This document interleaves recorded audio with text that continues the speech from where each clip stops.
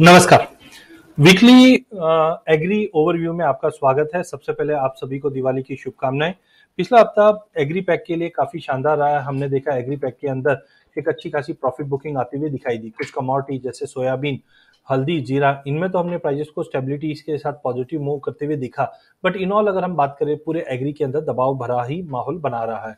सबसे पहले अगर हम एडिबल ऑयल कॉम्प्लेक्स की बात करें तो पाम ऑयल के अंदर हमने ढाई से तीन परसेंट की गिरावट आती हुई देखी। सोयाबीन थोड़ा स्टेबल था लोअर लेवल से हमने सपोर्ट आते हुए देखा।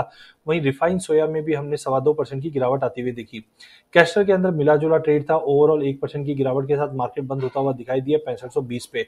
मैंथा ऑयल रेंज बाउंड था। वहीं कॉटन कॉम्प्लेक्स की अगर बात करें तो बड़ी तेज़ी के बाद कॉटन के अंदर हमने एक परसेंट की गिरावट, वहीं कॉटन सीड ऑयल केक के अंदर भी पौने तीन परसेंट की गिरावट आती हुई देखी।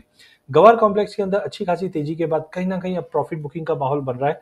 मुहूर्त के ऊपर हमने ट्रेडिंग अच्छी होते हुए देखी बट इंपॉर्टेंट रहेगा अगला हफ़्ता कैसा रहेगा? बिकॉज़ हायर अराइवल की वजह से हेजेस काफ़ी ज़्यादा एक्टिव है, जिसके चलते हमने देखा कि गवार सीड में सवा चार परसेंट की गिरावट और गवार गम में साढ़े सात परसेंट की गिरावट के साथ मार्केट बंद होता हुआ दिखाई दिया ये हफ़्ते में। वहीं मसालों की अगर बात करें तो ऑलरेडी हमने धनिया की एक ज़बरदस्त तेज़ी देखी थी बट कहीं ना कहीं प्राइजेस 8,500 का लेवल नहीं तोड़ पाया और रिजल्टेंट करीबन दो परसेंट की गिरावट के साथ मार्केट बंद होता हुआ दिखाई दिया। वहीं जीरा और हल्दी ये दोनों कमोडिटी में लोअर लेवल से अच्छी बाइंग लौटती हुई दिखी। टेक्निकल तौर पे अगर हम देखें तो पिछहत्तर के ऊपर हल्दी का क्लोजिंग काफ़ी स्ट्रांग है जिसमें हमने सवा चार परसेंट की तेज़ी देखी। जीरे के अंदर भी अटकलें लगाई जा रही है कि स्विंग एरिया ड्रॉप हो सकता है जिसके चलते ढाई परसेंट की तेज़ी बनी है। अगले हफ़्ते की अगर हम बात करें तो अगला हफ़्ता काफ़ी इंपॉर्टेंट रहना है एग्री मार्केट के लिए, क्योंकि हॉलीडे का भी माहौल के बाद मंडियाँ ओपन होते हुए दिखाई देगी। तो सबसे पहले सोयाबीन की बात करें शॉर्ट कवरिंग के चलते मार्केट में जो तेज़ी है, वो कायम रह सकती है। छप्पन के टारगेट के लिए सोयाबीन बाय ऑन ड्रॉप रखिए। वहीं कैस्टर में लॉन्ग लिक्विडेशन हुआ है, चौसठ से छियासठ का रेंज रहेगा। चौसठ सौ के करीब हम कैस्टर लेके चलेंगे। छियासठ का ओवरऑल टारगेट रहेगा। सीपीओ के अंदर थोड़ा स्टे अवे रही है क्योंकि इंटरनेशनल से अपडेट्स आने काफ़ी इंपॉर्टेंट है। जिस ढंग से गिरावट है, वो और बढ़ सकती है जो एक हज़ार नब्बे तक का लेवल सीपीओ में।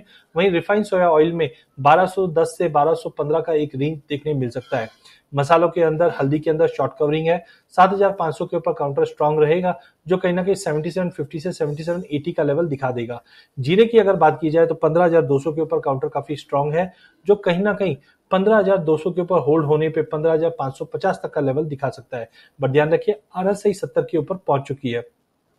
धनिया की अगर बात करें तो 8500 का लेवल तोड़ नहीं पा रहा है। मार्केट में थोड़ा भी पुल बैक अगर 7750 7780 के करीब मिले, लेके चलिए इमीडिएट हर्डल 8200 का रहेगा। वहीं गवार सीट गवार गम के अंदर लॉन्ग लिक्विडेशन कंटिन्यू है। प्रेशर और बढ़ता हुआ दिखाई देगा, जो 6400 से लेकर 6300 तक का लेवल गवार सीट में और 10800 तक का लेवल गवार गम में देखने मिल सकता है। मैंथा में भी नौ से 960 का जो दायरा इसी दायरे में मैंथा ऑयल ट्रेड करता हुआ दिखाई देगा। वहीं कॉटन कॉम्प्लेक्स की अगर बात करें तो कॉटन में अभी भी शॉर्ट कवरिंग कायम है बट थोड़ा पुल बैक ज़रूर बनता है काउंटर पे।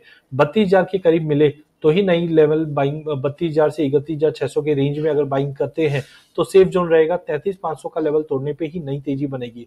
R S I eighty two पे होने की वजह से हम ये पुल बैक एक्सपेक्ट करके चल रहे हैं।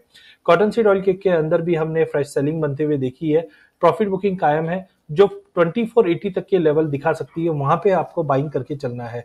एंड लास्ट में अगर हम कपास की बात करें तो कपास के अंदर भी ओवरबॉट जोन में है। एक पुल बैक देखने बनता है। बट इन ऑल अगर हम बात करें अगले हफ़्ते की तो कॉटन कॉम्प्लेक्स में बाय ऑन ड्रॉप मसालों में buy on drop soybean castor में दोनों में तेज़ी, जबकि गवार सीट गवार गम में आप लेन से बच के चलिए। धन्यवाद।